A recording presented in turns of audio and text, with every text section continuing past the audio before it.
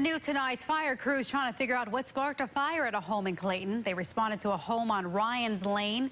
The family of five and the family dog are all safe. The home is expected to be a total loss. The Red Cross is assisting the family. Still no